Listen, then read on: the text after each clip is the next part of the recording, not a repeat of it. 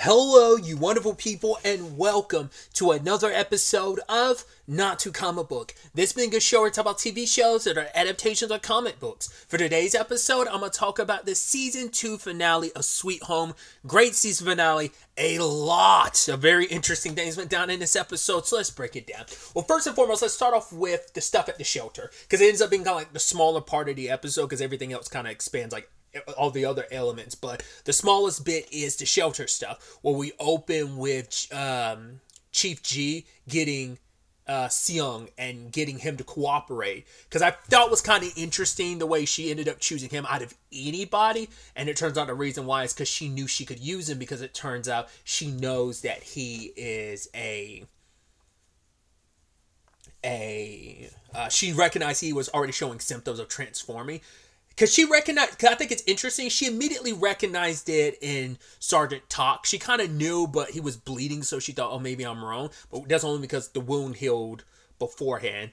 I mean she was i don't know like i guess that worked against her because obviously she had uh Yi um CO go cut the power because we find out the power cut off be- not because it was shut down someone cut the wiring. It was uh Yiseo, but because she's so bougie about stuff, she left one of her rings behind. It's like that's kind of your fault. You, if you weren't so eccentric the way you are, you wouldn't have had to worry about that. But they were able to quickly find out about her. I was also curious about the sergeant Tak thing because his subordinate recognized his eyes, but the moment he turned his eyes from the mirror, they were normal. So the guy's probably gonna brush it off like, "Oh, I must be crazy. I must be heightened because of everything that's going on." So they think, um, you know, they end up grabbing up Yiseo and she tries to pretend like she doesn't know anything and Chief G shows up and she's like, "Oh, I'm repairing the power. I don't know what you're talking about." And then like the moment her daughter's there, she slaps her, which is so sad because it's like, "No, I'm going along with your plan. Who knows what they're going to do to her, whether they're going to torture her or what." But Chief G kind of looks saddened a little bit, but also like, "Right, this is it that's why she was so quick to use her daughter because she picks people she knows she can use. Her her daughter sadly like it's kind of done up, but just feed off of her reputation. But also, it's like it's a sacrifice because it's like right they won't kill you they might try to pump you for information but yeah she kind of threw her daughter to the wolves which you can tell sergeant Tak is like yeah there's no way your daughter would do some stupid stuff like this without your say so but i'm gonna let you think you're getting away with it so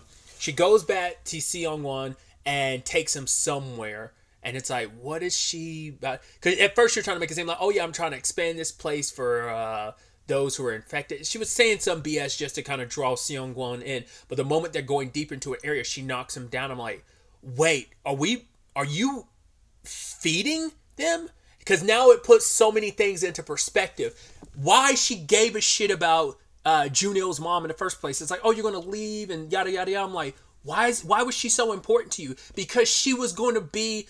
I was thinking maybe it's a child, but maybe it's actually her husband because the photo, the picture is on a child, and I mean, not unless that was her daughter, but I was, I was thinking for a second like maybe they had another child that got infected. I don't know, or maybe she, her husband's actually still alive. Because what we saw that fight, her husband got knocked into like something and got impaled upon it, so he might not be dead. I mean, obviously the healing factor of a monster. I don't think either one of them, like Eon Yu nor, uh, nor Hyun went to go inspect the body because obviously uh Chun Young showed up pretty quickly afterwards, so they probably like returned the body. But it probably, I mean, as we know, extensive amount of damage. It takes a little bit longer from for them to come back from it after a while. So it could have been thing of they brought his body back and then just kind of she kind of quietly disposed of it. When in actuality, he's probably been alive this entire time. She's just been feeding people to it, and now, but that's why I think June Il its mom comes into place because she was going to like, hey, make it seem like she escaped and got away, but in secret, like no way that way no one asked any question when she disappeared.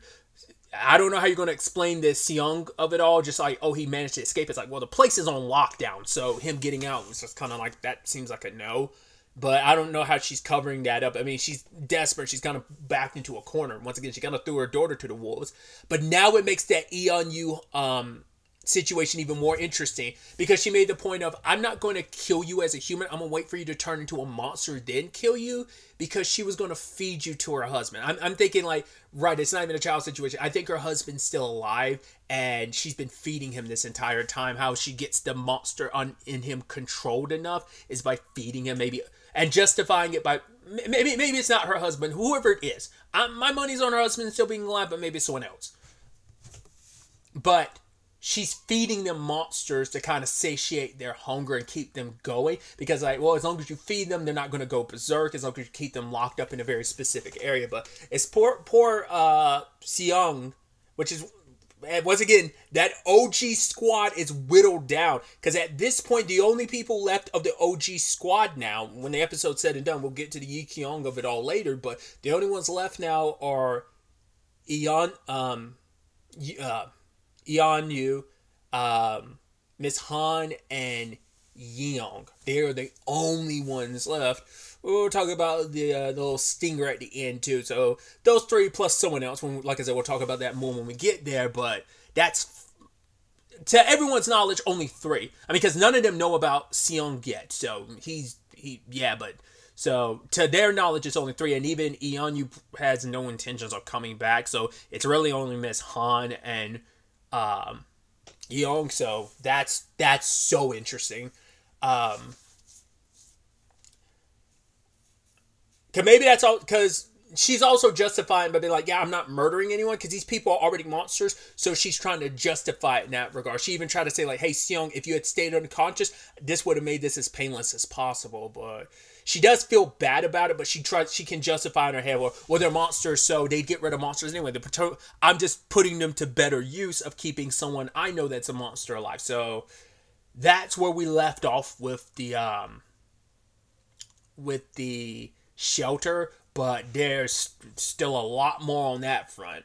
So other than that, we also have this situation with Hyun, uh, Chun Young, and Eon US are taking. I was thinking like, oh, they're gonna go back to the shelter, but it's like, no, that's too far of a trip. So they're taking uh, Yi to the closest place they can, like a pharmacy or hospital rather, and try to give her some oxygen. She's dying of uh, carbon monoxide poison. But the problem is, there's no oxygen in the hospital, and there's no time to take her back to the shelter without her dying. So it, they all they can do is wait, and obviously this hits hard for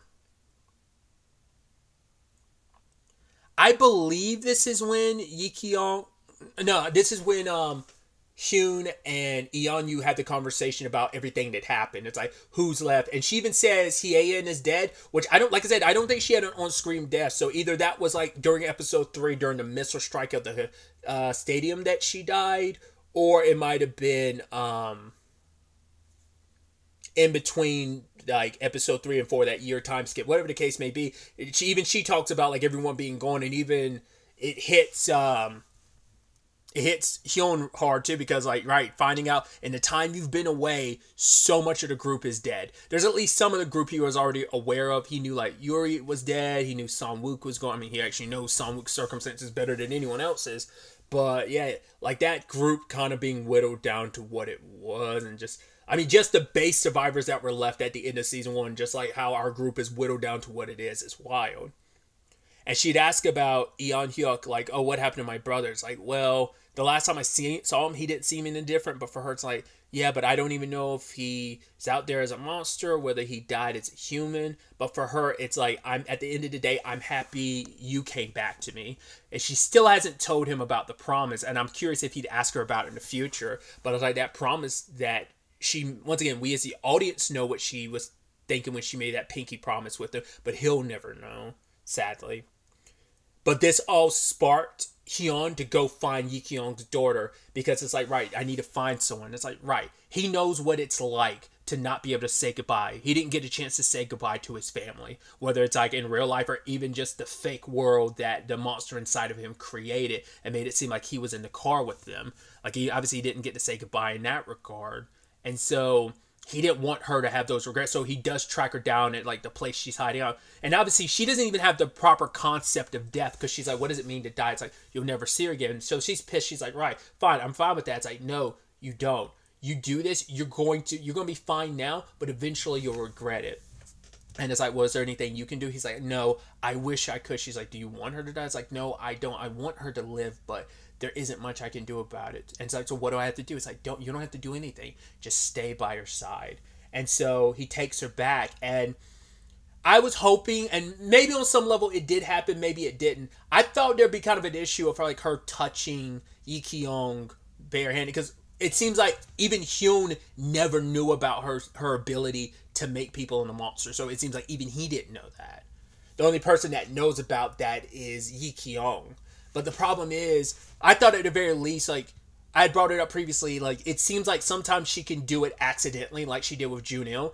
But I, I think that's because that was like she touched him, sure, but the monsterization process was a little bit different in that regard. It's I mean, we've seen it so far. It hasn't fully, fully mes- manifested as like a full monsterization. They become monsterized to some extent, but they still maintain enough of a, like a regular human form. They do kind of remind you more of a uh, of a like a neo-human or special infectee the way they operate like junil once again did not show any symptoms or even a special infectee would so it's like you have some of that after you have some of the elements of it but not all of the effects of it still it's still a bit question mark when it comes to her circumstances but I thought because she can see people's memories just like Hyun can, they share that ability. I don't think Hyun knows about that. I don't even well because Yi Kyung she knows that Yikion knows her daughter could like read her thoughts and knew what, exactly what she was thinking, but I don't know if they put that together because I don't think Hyun's talked to anyone about that. The only time he's experienced that was when he was at that facility in episode two. Is when he no no no it was three I believe yeah I believe that was episode three no no that was episode episode two, I believe. Yeah, that was episode two. They were at the facility, and that happened. I think, if I'm remembering correctly. So yeah, yeah, yeah. So that's the only time he's experienced that, and he hasn't really talked to anyone else about it. So I was thinking maybe she, her mom can't really talk to her. She's tearing up and saying, "I'm sorry." I thought by holding her hand, maybe she get to see all the stuff her mom really wishes she could say what she was feeling.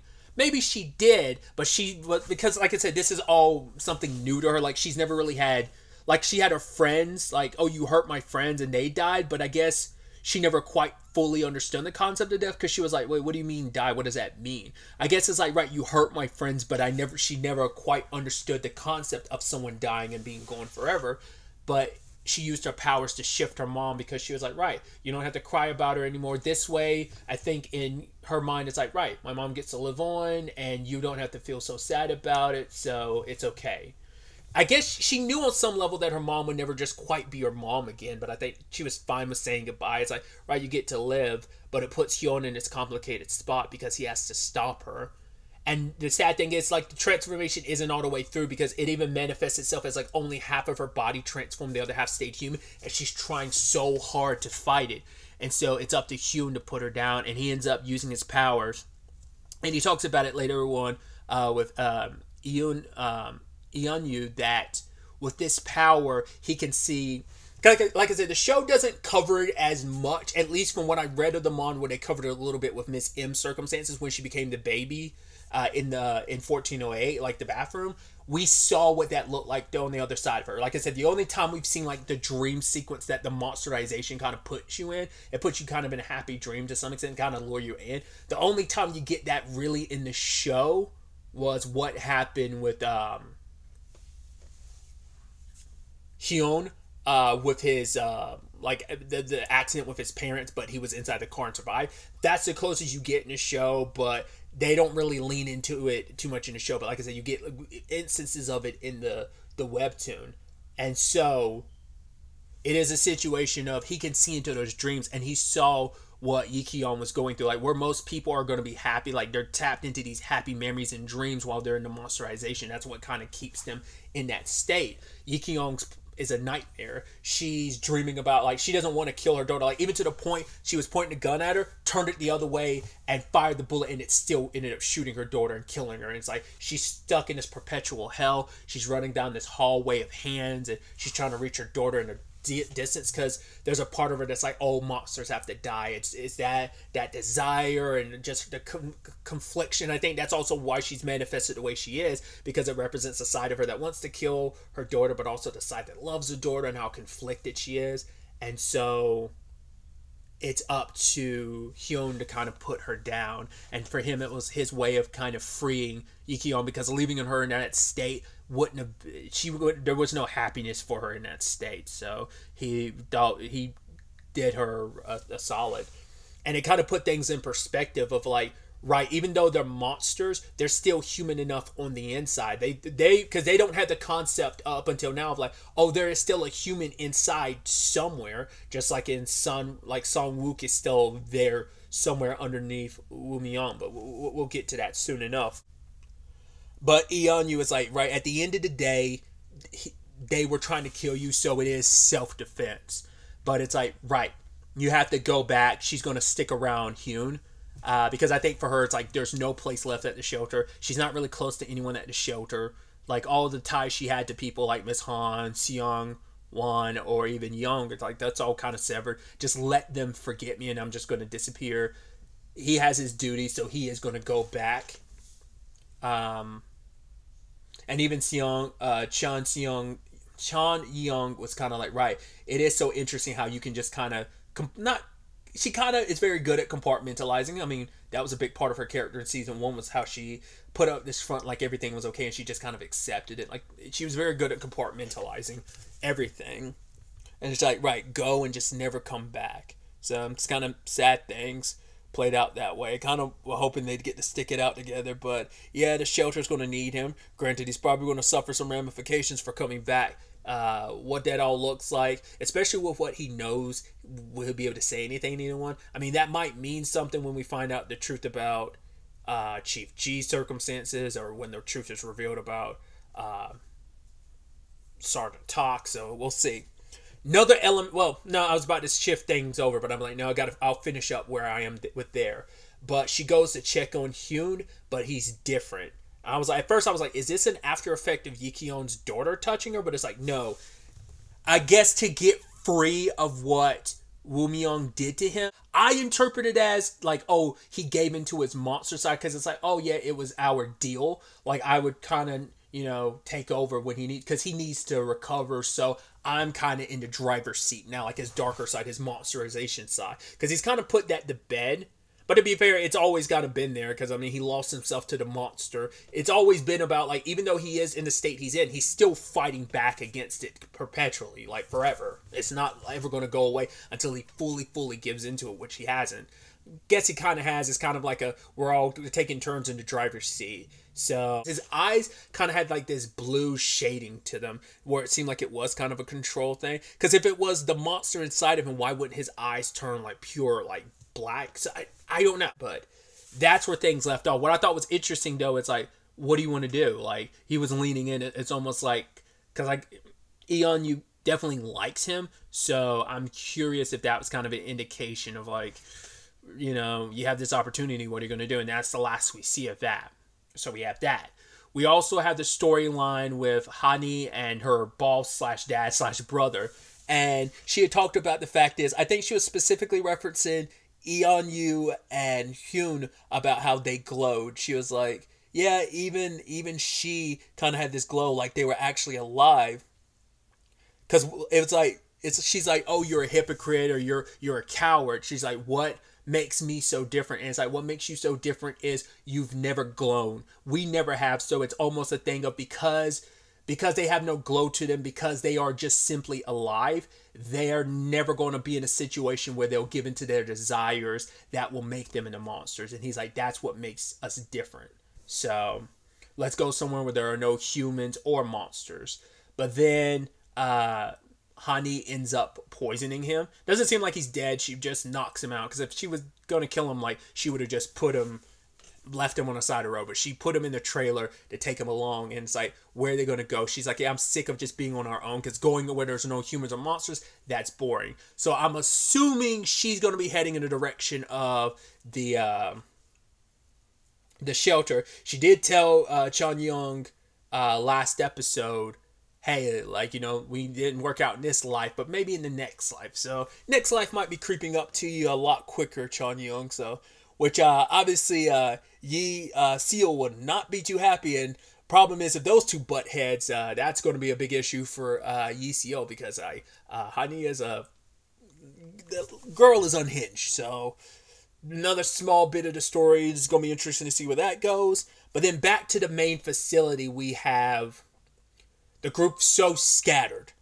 They are still well.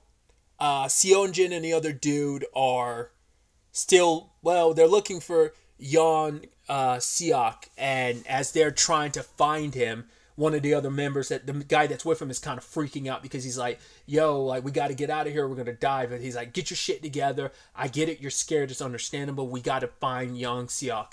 And so they go, and sadly run into a guy, which I'm like, that's kind of a problem. You haven't run into anyone at all here. You run into a random guy, and he locks you in a room, and I was like, that's not good. Then there's like a sealed room where one of the guys unloads and he ends up getting murdered. We don't see what happens to Seonjin, but I'm pretty sure he's probably going to catch it next. Maybe, maybe not. I, I don't know. He's kind of got plot armor to some extent. I mean, anyone can catch it in this, obviously, amongst these characters too. So there's, I was like, there's no guarantee Kim, Lim, Dr. Lim, or um, even Siak Chen, like the guy that's with uh, Sergeant Kim, like there's no guarantee none of them will make it out of this. Which they run into a little girl who was hidden because they're ultimately trying to decide what they're gonna do if they run across uh, Young Siak and he's a monster. And Kim doesn't know what he'll do, but he's like, if I hesitate, it'll be up to you to you know use your best judgment, uh, uh, uh, Chan, to decide how you're gonna approach that situation. They meet a little girl, and I was kind of a little nervous about it. I'm like, there's no way. She's like, oh, I'm human. There's like, there's because they just assumed looking at her, they never tested it, which they should have. They just saw her and just assumed she was human, which is bullshit. Because they're going by the typical standard of like, oh, her eyes would be black, but she looks human. She's not showing any symptoms. You idiots. Like once again, Dr. Lim even said it himself, the circumstances have evolved and things have changed, so you can't go by the like the classic rule of how things have been up to this point. Things are changing, and especially in this facility. So they end up eventually finding young Siak, but the problem is he's locked up I was like, don't you think it's a little conspicuous that she's locked? He's locked up behind some like it looks like it's not just locked. It looks like there's stuff on it, but maybe you maybe that has nothing to do with like the door being locked. Maybe it is just locked and you can unlock it with a key. But it looks like there was like sludge on it, like a very specific type of material slime that was kind of keeping the door closed. But maybe it had nothing to do with it. Kim goes with the girl. Turns out the whole thing's a trap. It's a whole setup because they are. We find out interestingly enough the people here once again there's the groups that are separated. So it's like oh there's mo- it's like because even um it was like oh wasn't why are they so like perfectly in eye view of like being separated? So i wonder what is the delineation between the group like uh Seonjin saw amongst the like two different rooms like what was the significance there? But basically turns out Wu uh, Myung, which I kept being like, wait, why are you here? I kept saying it the entire uh, ever since episode four. Like, what has he been up to? I was like, you think like the stadium and stuff like that would have been a target? It's like this. He's been too quiet. We haven't.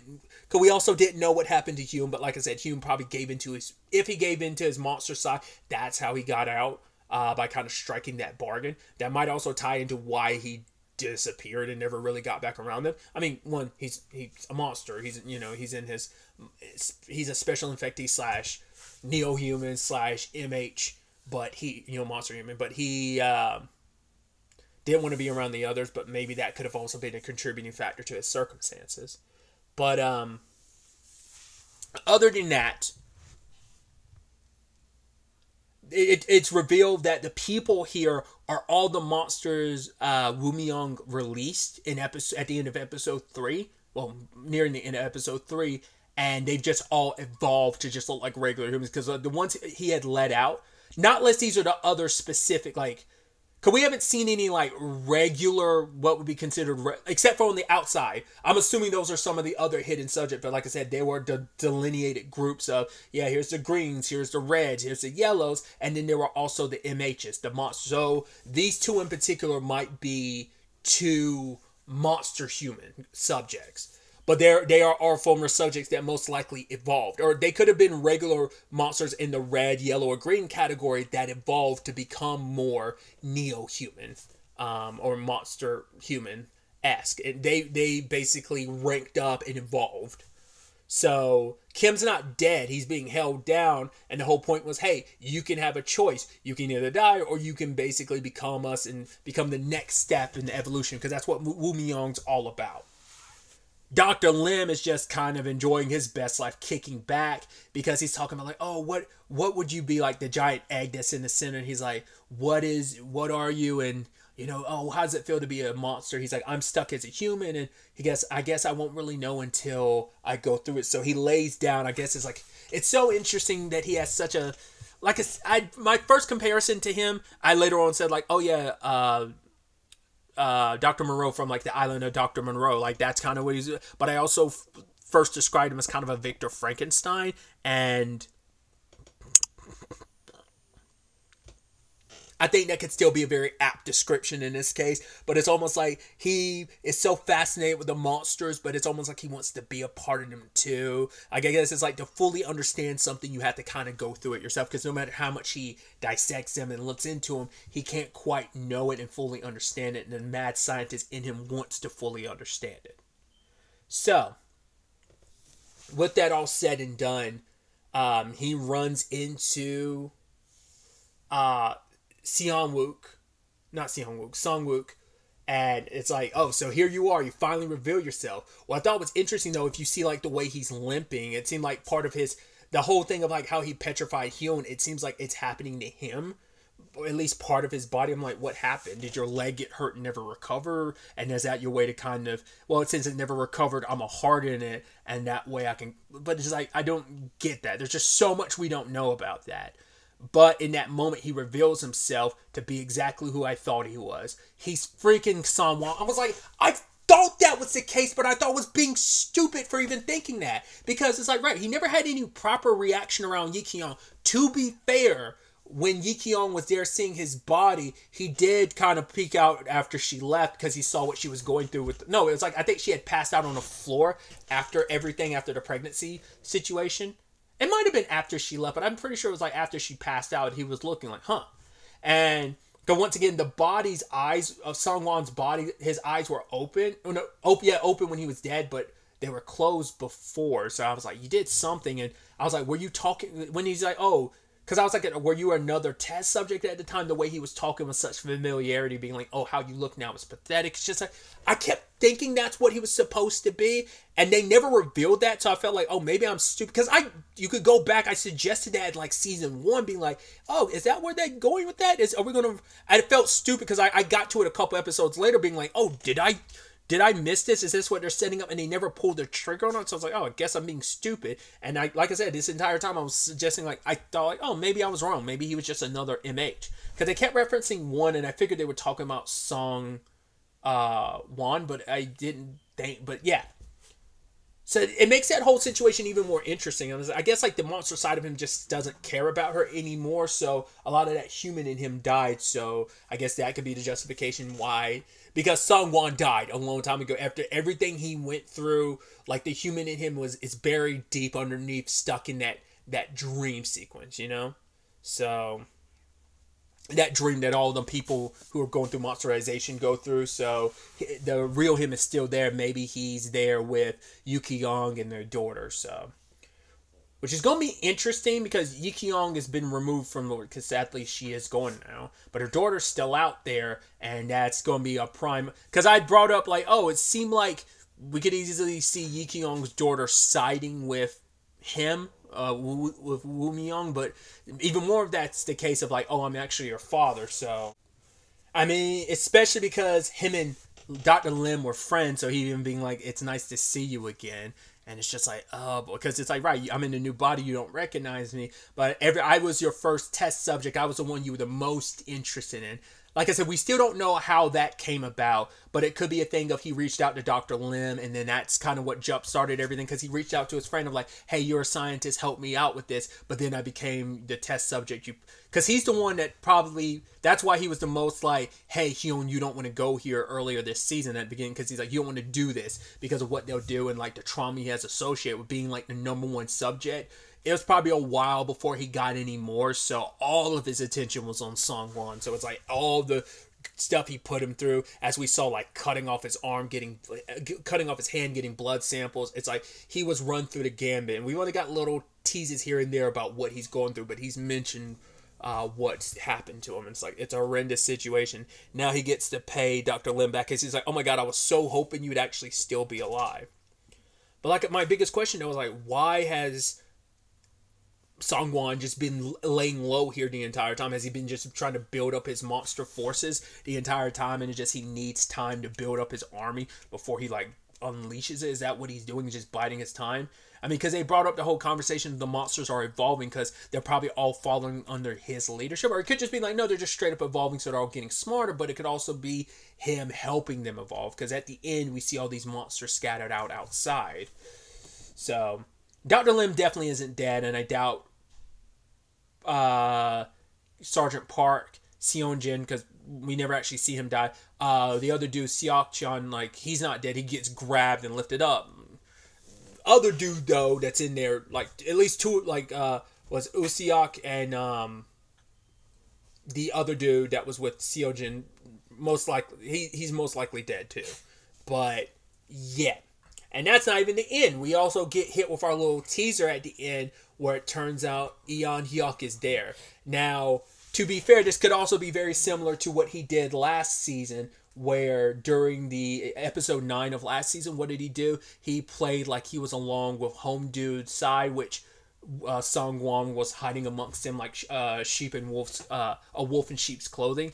Uh, well, he made the whole reference of like rabbits and um, wolves. So maybe Eon Hyuk is doing the same thing here, playing uh, playing rabbit when he's actually a wolf. I guess even more so, probably more accurate to be like playing wolf when he's actually a rabbit. To be more so precise, I don't know, but it makes the most sense that he'd still be out there because what did Eon Yu find in episode two? She found the note with all the names written down of those infected who are dead, and also his glasses, but never found the photo because she even opened up the CD like um her CD player and didn't find the picture. So I was like, it, it's not in that area, even though all that other stuff related to him is in that same general area because that's where he was. For the picture not to be there must mean he took it with him. So Eon Yu must be playing. I mean, Eon Hyuk might be playing a long game, not less he did kind of give in, but we will have to wait and see. Because that doesn't seem that's not the same one that dr lim was staring at before he walked away. Because there's that one. There's also the one he found i don't know, think that's the one he found in the woods that he broke off a piece of. I think that's a different one. I think the one eon hyuk came out of was a different one but i think it's rel- it's definitely in that same area. I mean, not unless it's a different place but because that, that place he came out of there were monsters surrounding the outside so so many because I was so curious because like the storylines were so spread thin. I was like, Hyun and Eon, um, Eon Yu's storyline doesn't seem like it connects to Dr. Lim's storyline or what's happening at the shelter. I mean, it's all connected, sure, but they are so massively disconnected. And I'm like, how are you going to tie this all together? It's like, no, we're leaving those threads loose because it's all coming back together for the third season, which, as we got at the end, the sh- this is the show is coming back for a third season. I, I was because I already saw that when I started season two. I'm like season three in 2024 summer. I was like, that's interesting. I was like, oh, they apparently filmed these seasons back to back because I don't know how impact because once again the first season came out 2020. I don't know how impact. I don't know what Korea's filming schedule was like. What their stuff was like during COVID. So maybe they got some of the filming done, but then like before they wrapped on production, they maybe just went ahead. Maybe that's why they waited so long too, is they wanted to make sure they had two and three done back to back, and then maybe it's a lot of post production that needed um, uh, finishing up too. But there is going to be a third season.